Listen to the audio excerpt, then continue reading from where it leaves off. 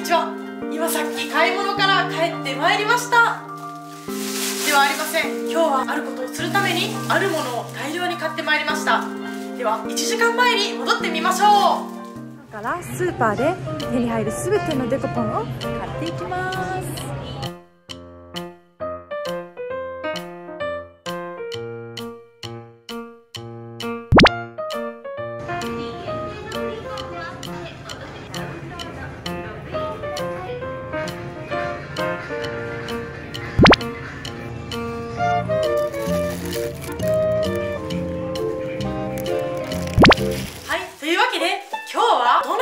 長のデコポンが美味しいのかお伝えするためにスーパーに行って売っていたデコポン全て買い占めてまいりました。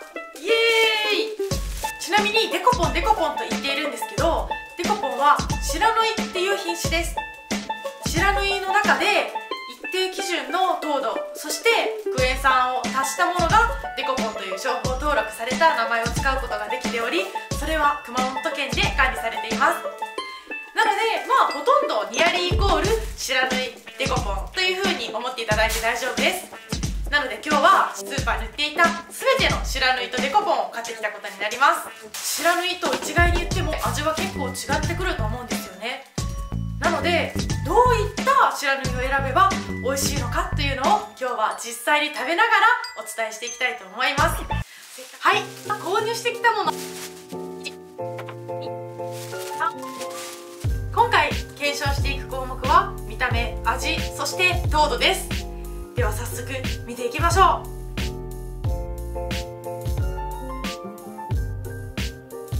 ではまずはじめに1番目に購入したこちらのね香川県産の白縫いを食べていきます。うん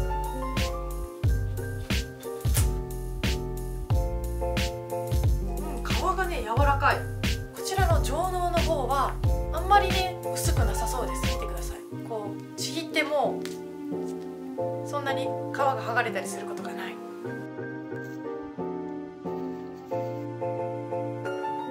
いただきます。甘さというよりかは酸っぱさが強い。おかしいな。こちらの白縫いは皮がすごく柔らかいんです。だからつまり取れたてではないです。結構時間が経ってこう酸味が抜けてきているような状態だと思うんですけど食べると酸味の方がすごく感じてどちらかといえば酸っぱい。皮も結構食べ応えがありますね。では2つ目こちらのものをいただきます。皮がすごく硬いです。剥きにくい。どれぐらい硬いかというと8作ぐらいです。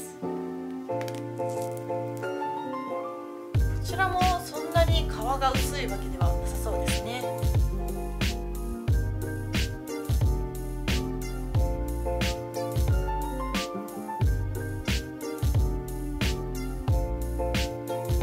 いただきます。酸っぱい。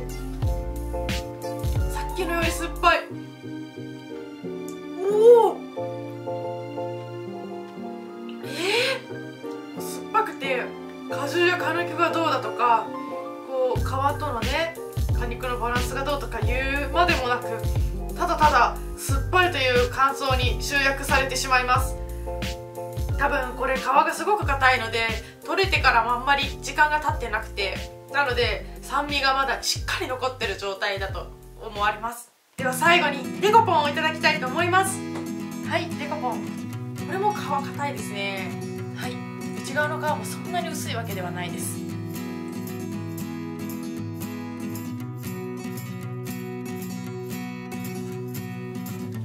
だ皮と皮のねこの外側の皮と内側の皮の間はしっかり詰まってます。香りは？うんどれも一緒ですね。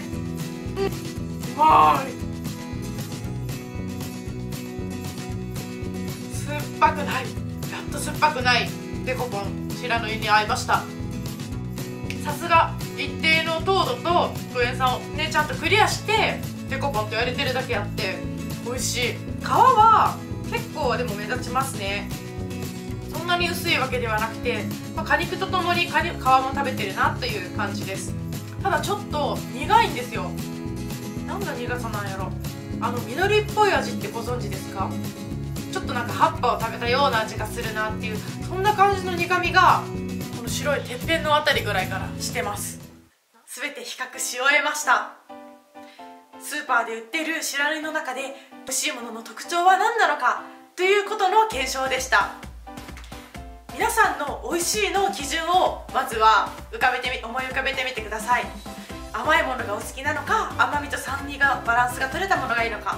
などそれぞれの好みによって美味しいと思われる味は違ってくるのでそこにドンピシャに合うものを選んでいただければと思います。まず1つ目白縫いとデコポンの違い。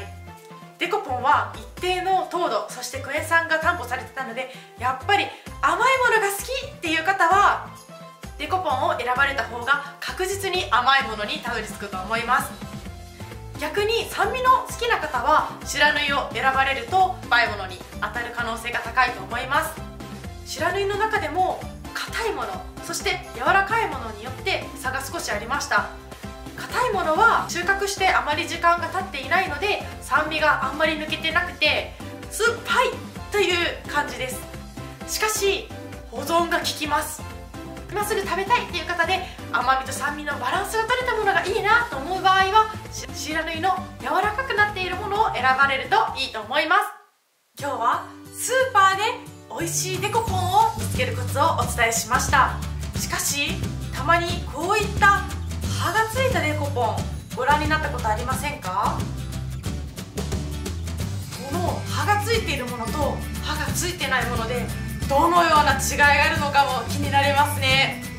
なので葉付きデコポンはついてないものと比べてどのような違いがあるのか農園に行って生産者に伺っていきたいと思います。では次の動画では農園でお会いしましょう。見逃さないようにチャンネル登録よろしくお願いします。本日もご視聴ありがとうございました。また次の動画でお会いしましょう。